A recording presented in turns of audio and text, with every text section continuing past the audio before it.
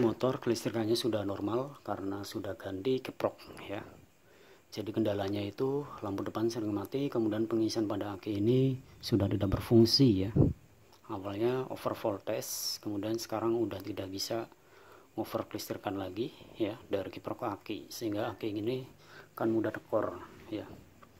Tadi digeber nyala tembus 14,7 14,8 volt ya di bawah 15 itu normal untuk pengisian ya. Tapi kalau udah nyampe 16 17 18 itu udah over dan akan mengakibatkan si aki ini akan mudah kembung ya. Oke semoga bermanfaat untuk tentang pengecekan.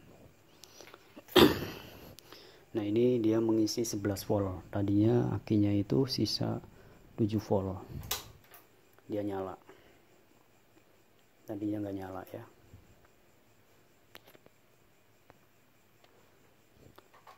jadi kiprok ini sangat penting ya bagi teman-teman pengguna Satria F. Cukup sekian terima kasih. Semoga bermanfaat. Next video selanjutnya. Jangan lupa di subscribe ikuti channelnya. Sekian terima kasih